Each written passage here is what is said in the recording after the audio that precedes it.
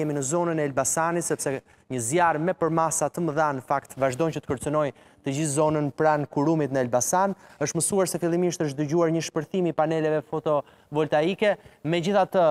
Hortensa, çfarë po ndodh konkretisht atje ti je pranë zonës ku kanë qenë edhe flakët, apo jo?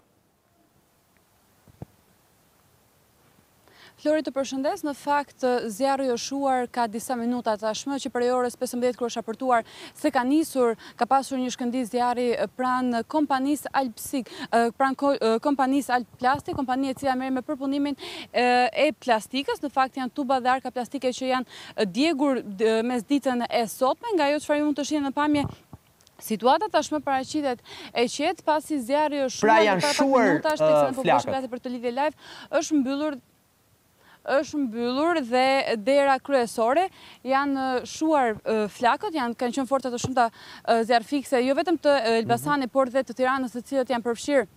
në këtë operacion për të neutralizuar flakët, të cilat në fakt duhet thënë se rrezikonin edhe dy magazina, të cilat ndodheshin ngjitur me këtë kompani, të cilat përpunonin, merreshin me prodhimin e baterive të makinës, ku sigurisht dëmi, nëse do të kishim një shpërthim pikërisht në këto dy magazina, do të ishte kolosal, jo vetëm në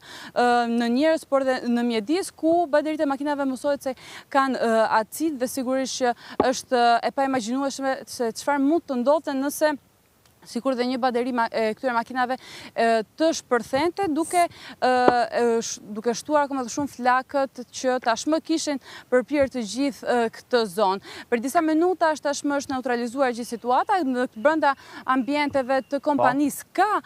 forca zjarrfikëse të cilat po bëjnë shuarjen e e vatrave të fundit, por megjithatë situata është qetësuar tashmë pas disa orësh aksionesh. Pra flasim vetëm për dëme materiale Hortensa apo ka patur edhe persona të cilët kanë qenë duke punuar, pra kjo shkëndijë ka qenë në një moment magazinimi, ka qenë në një moment pune e sipër, ka qenë një shkëndijë, pra për të kuptuar më shumë edhe gjatë momentit kur ka ndodhur ngjarja. Ka qenë rreth orës pesëmbëdhjetë atëherë kur ka nisur zjarri dhe sigurisht që kanë qenë momente pune, ka pasur rreth 25-30 punonjës të cilët mhm. kanë qenë të parë që janë munduar të shpëtojnë njëri-tjetrin pra nga flakët, por fatmirësisht nuk kemi persona të lënduar, megjithatë janë dy punonjës të cilët kanë kërkuar ndihmë mjekësore për shkak të asfiksimit, për shkak të tymit të lartë dhe që pushtoi të gjithë zonën, megjithatë janë jashtë rrezikut për jetën dhe në gjendje të mirë shëndetësore, por ka qenë diçka e nevojshme në momentet e para. Kanë qenë jo vetëm punonjës të kësaj fabrike, por dhe punonjës të magazinave përreth që kanë ardhur në ndihmë për të shpëtuar punonjësit, pasi ka qenë një zjarr i cili ka marrë përmasa të menjëhershme dhe mësohet se ka qenë një shkëndijë elektrike, një tension tepër i lartë përtej përmasave. Mhm. që janë në ditë normale duke sjellë dhe këtë problem dhe duke shkaktuar këtë vatër zjarri i cili në fakt duhet thënë nga të gjitha zjarret që mund të kem raportuar situatat e ndryshme mund ta konsideroja si një ndër vatrat flakët më të mëdha të zjarrit që mund të kemi raportuar ndonjëherë dhe për shkak të rrezikshmërisë duke qenë se përveç se punonjësit duhet të shpëtonin njëri tjetrin nga flakët e zjarrit Ka qenë dhe punonjës të tjerë të cilët duhet të largonin dhe kanë larguar në mënyrë të menjëhershme bateritë e makinave për të shmangur një tjetër katastrofë natyrore në fakt duhet thënë dhe nga vetë punonjësit Ortenza me aq sa ke patur dhe ti mundësi ëh sepse ti ke shkuar menjëherë pranë vendit të të pranë vatrës së zjarrit për të kuptuar dhe më shumë po me çfarë pe ka patur punonjës të cilët janë përpjekur të shuajnë zjarrin në një tentativë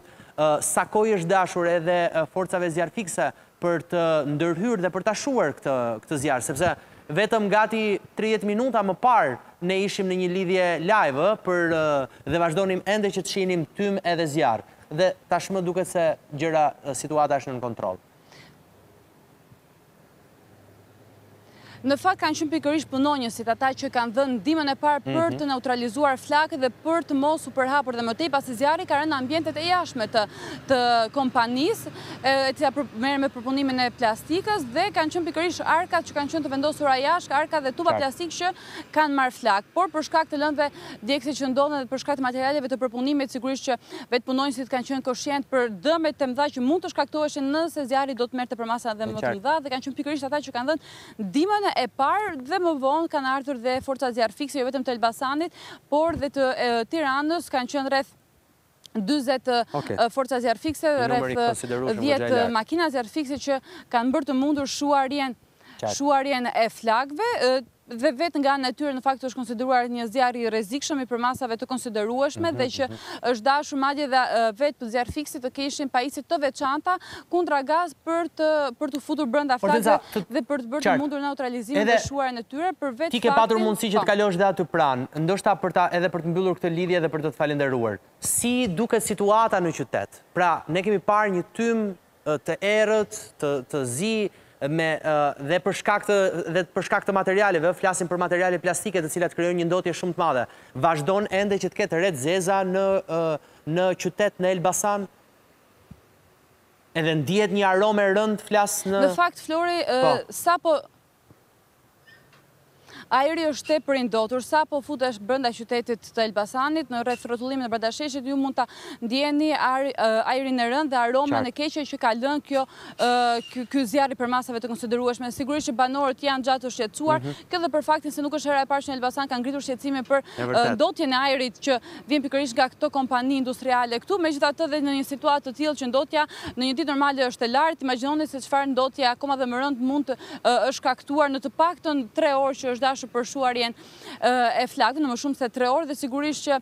dikush që mund të ketë qëndruar këtu gjatë gjithë kohës dhe ka pasur nevojë për një qetësues, për vetë ajrin e rëndë që është dashur të thithë dhe vetë banorët që janë munduar sado pak të largohen drejt nga ky tym, po. të mbyllë banesat rreth e përqark të mbyllin dritaret për të shmangur këtë ndotje të ajrit dhe Në fakt, në një situatë të tillë, duke marrë shkak dhe nga zjarret e tjera që kemi raportuar, duhen disa ditë që le të themi ajri të kthehet normalitetit, aq sa mund të rikthehet. Aq më tepër aq sa mund të rikthehet për Elbasanin që ne kemi raportuar gjithmonë si një zonë e cila është goxha e ndotur. Falenderoj shumë Hortenca që ishe në këtë lidhje në People. Faleminderit. Ne ndërkohë do shohim se çfarë do të ndodhë në fakt në vazhdim, deri tani duket sikur flakët janë në kontroll, po ne duam që të ndalemi pak tek shëndeti seksual. Shumë e rëndësishme, OBSH ngre alarmin, duket se kemi një rritje të rasteve të sëmundjeve seksualisht të transmetueshme, përse ndodh kjo do ta diskutojmë me panelin e të ftuarve pas pak në People.